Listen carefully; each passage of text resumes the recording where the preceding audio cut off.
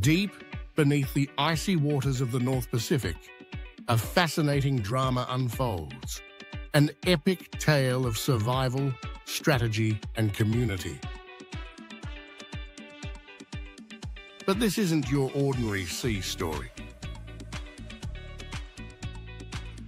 We're diving into the surprising social lives of some of the ocean's most majestic creatures, the king crabs.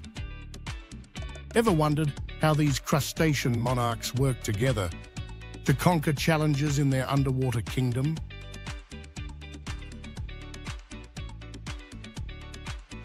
Get ready to be amazed as we uncover the secrets of their incredible unseen world.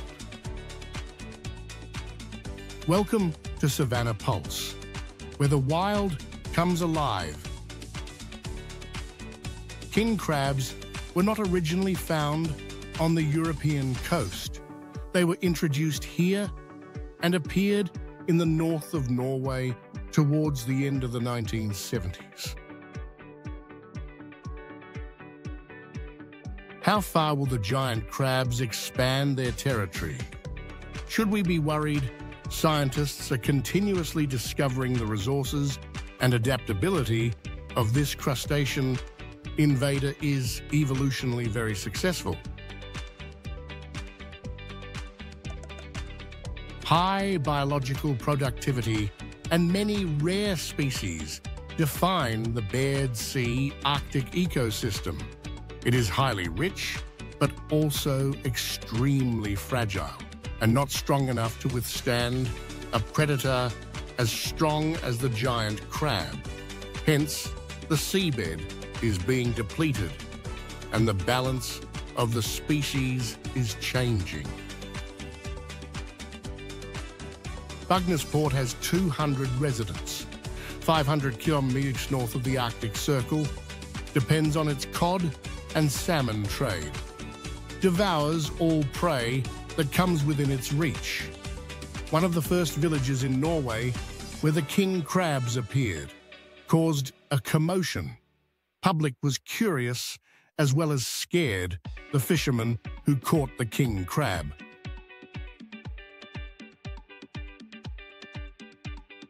Water six me from Murmansk in the Kola Gulf where it opens out into the desolate sea. The king crabs multiplied rapidly by the end of the 1970s.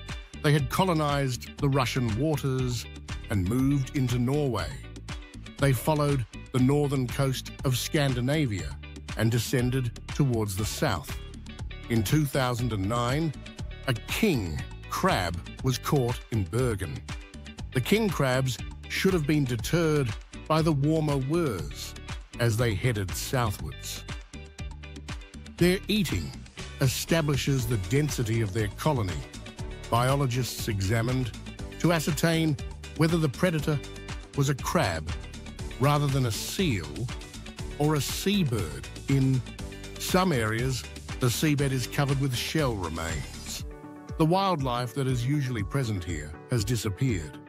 The crabs roam the almost deserted seabed in search of any remaining prey it is most likely responsible for.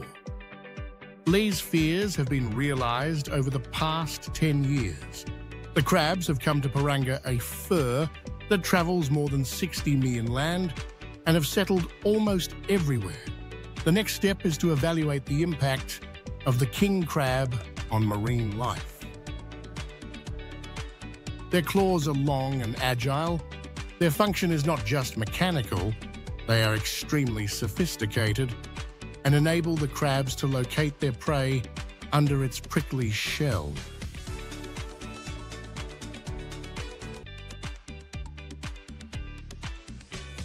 King crab hides a network of highly sensitive sensors along its legs. They send a stream of information to the brain touch-sensitive hair is located on the ends of its claws and can detect shells when buried in the sand. It captures and manipulates its victims with menacing skill. Small agile fingers on the side of its mouth are covered with tactile hairs that determine the taste and suitability. Now I am curious what has happened during the night, so I see that it seems as everyone has been eating at least one sea urchin, and extrapolating this to the nature earth. We will see that for each king, crap per day they will eat. Remove a prey or two prey.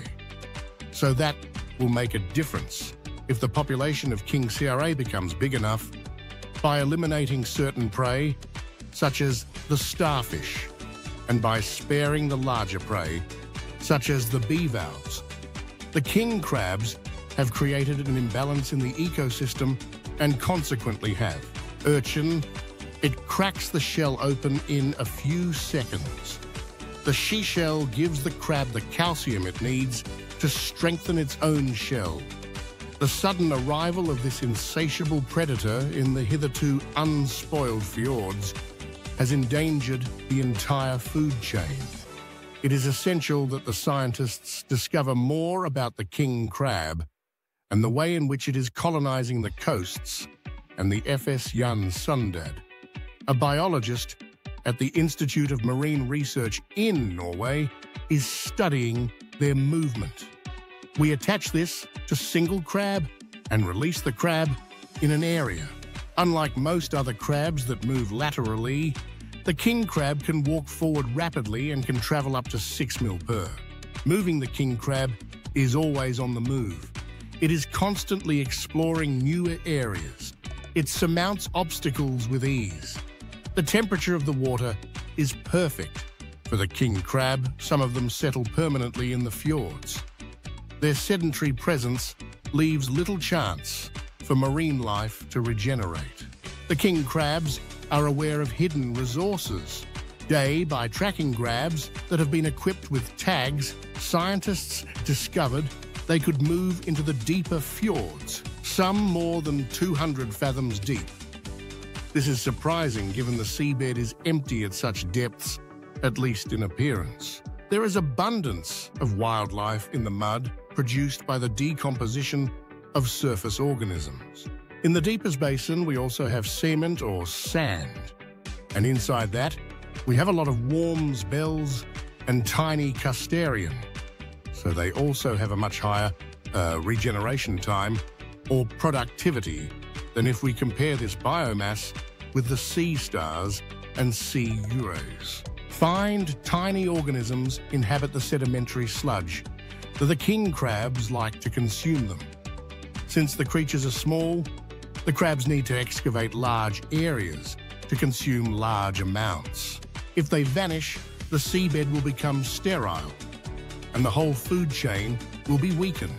The biologists fear that crabs will reach particularly sensitive areas that are home to rare marine organisms and relict of the last ice age, Jan Sundet and his colleagues from the University of Tromsø are on an observation ship.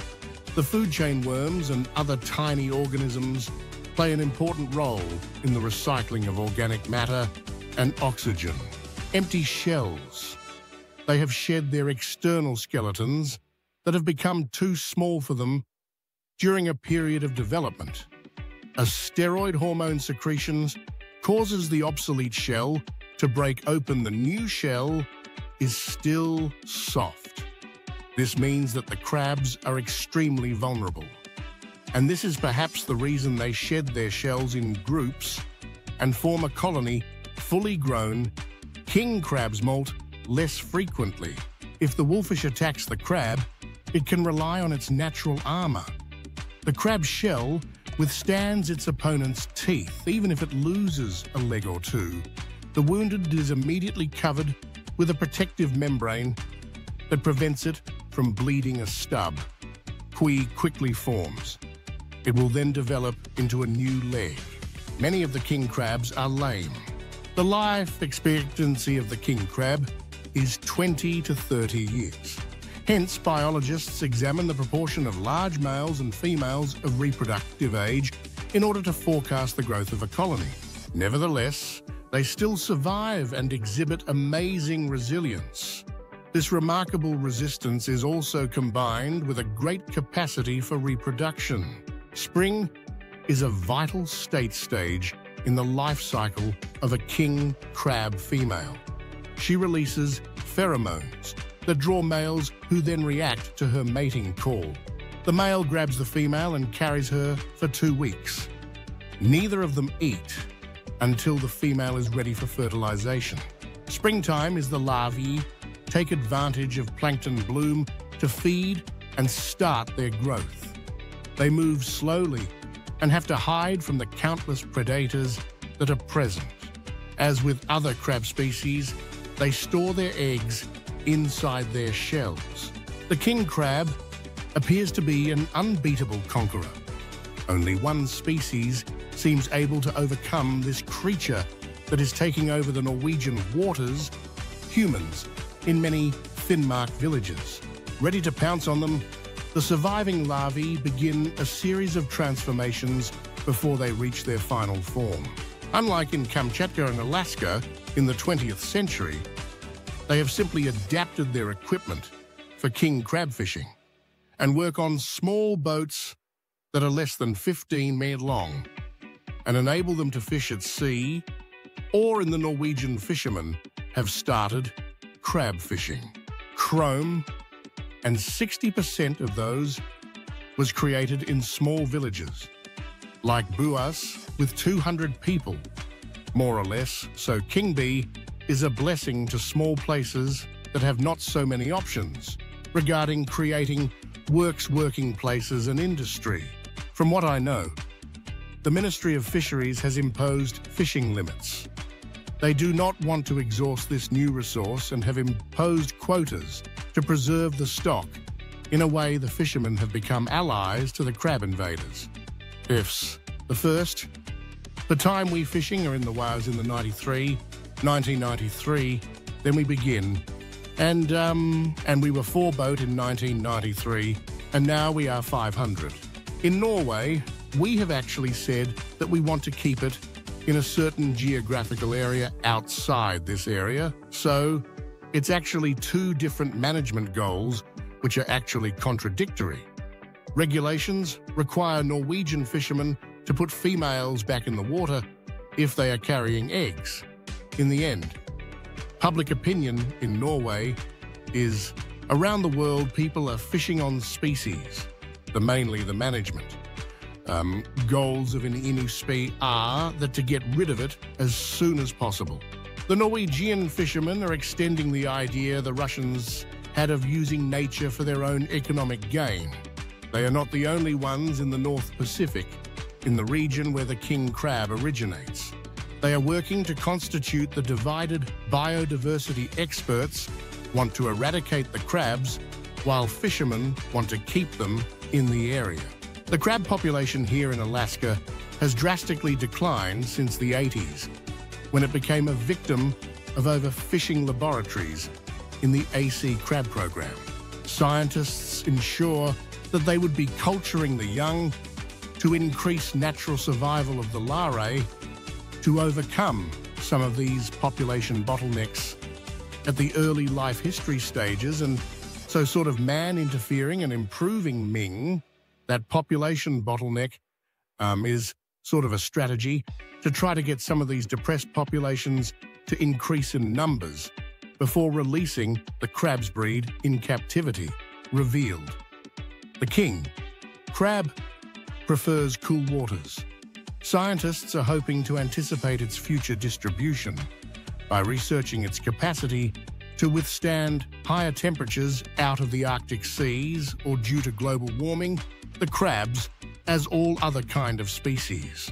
Animals, they are optimizing their behavior depending on the environmental conditions in this area, so maybe the future king crab in this year will actually be able to tolerate higher temperatures than and we have seen in the Bering Sea.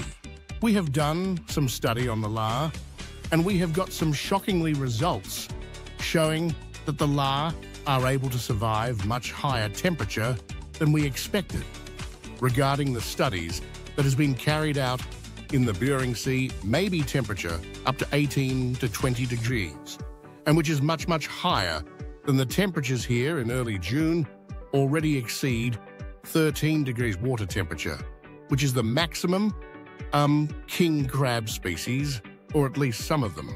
We expected Yuri Orlov, the man who brought the king crabs to the North Atlantic, to be convinced that they would be transported either by fishermen or as larvae, travelling in ship ballasts, would colonise the coast right up to Gibraltar. This would mean that they could travel through the warmest waters in Europe, like here in the English Channel, this could not be possible. Its cardiac rhythm indicates its resistance. The increasing pressure simulates a descent into an abyss. 30. External change, half frequency. 35. 85. Yes, I think we are passing a threshold slowly. At 120, which is equivalent of 1,200 pounds. Water depth, it's pretty significant, increasing to 125 bar. So that's 125 bar 1250 m water depth. This would not enable it to cross the deep ocean abyss. Rather, it would move along ocean ridges U, which are often considered to be highways um, through the deep sea or the outer continental margins. Survive any more pressure. Really, we should stop now since the respiration rate is going down okay and we reduce pressure very active. This would probably help. No damages here. And that's just the tip of the iceberg when it comes to the extraordinary lives of king crabs. If you enjoyed diving into their world with us, don't forget to hit that like button and subscribe to Savanna Pulse for more incredible wildlife stories. Your support helps us keep exploring and sharing the wonders of nature. Got a favourite sea creature or a topic you'd like us to cover? Drop a comment below. We'd love to hear from you. Until next time, stay curious and keep exploring.